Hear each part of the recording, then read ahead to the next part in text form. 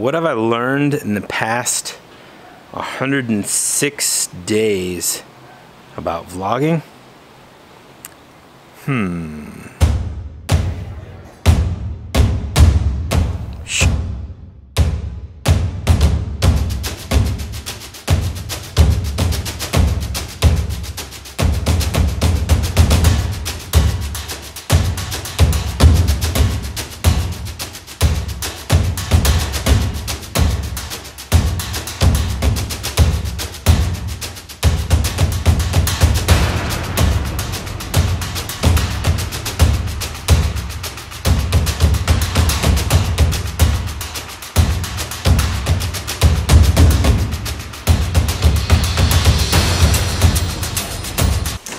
Mean, for one, it's still kind of weird to carry a camera around everywhere you go. So sometimes, and I've got to admit it, I just don't. Look, I mean, at the end of the day, there's a lot of difficulties and challenges that come with vlogging in general, especially vlogging every single day. I mean, the obvious one is that it takes a lot of time and there's some days when you just have so much to do and it's so jam-packed that at the end of the day, all you really wanna do is just crash out on the couch and watch some, you know, mindless show.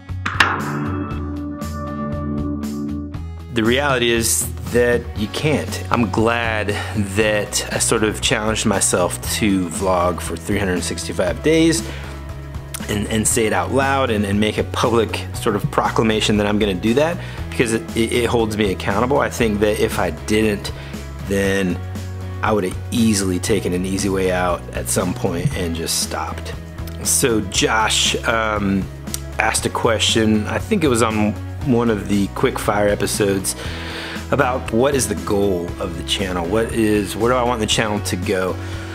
Man, to be honest with you, I have no idea. And and I kind of like that. I mean, truthfully, I, I think what's amazing and, and, part of the reason why I wanted to do it daily is I wanted to see how the channel evolved. I wanted to see um, where it ended up and, and, and what it turned into. I mean, you know, it's interesting. I mean, while it still serves as the medium for me to tell a story uh, that I enjoy the most, or a cool way for me to create something special for my family, or, or a place for, you know, people that are potential, you know, business referral partners or just you know business partners um, to get to know who I am and to ultimately become more connected with people I think that it's exciting to see how some videos get more views than others. The bottom line is I, I really enjoy, um, I really enjoy this. You know, I know, man, God bless my wife for being supportive and, and um, tolerant because I know sometimes, truthfully, full disclosure, it does get in the way. It's like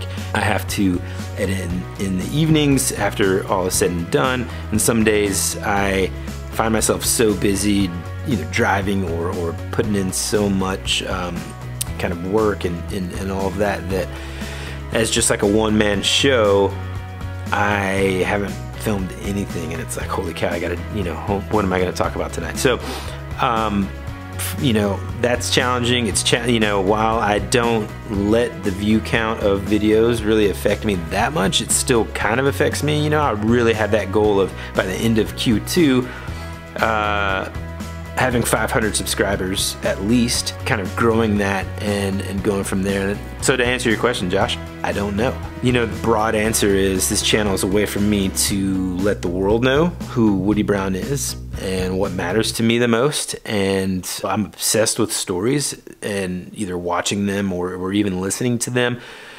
And, and I think that's why songwriting was such an important piece of my life and, and, um, I think this has, for now, filled that void. Um, I'm going to go ahead and say this. And, sorry. Duty calls, one second. Hey, good afternoon. This is Woody. Yes, um, I was calling about homeowner's insurance. Yes, ma'am. Uh, I can help you with that. Is this for a new home purchase? Yes. All right. When does the uh, the home close?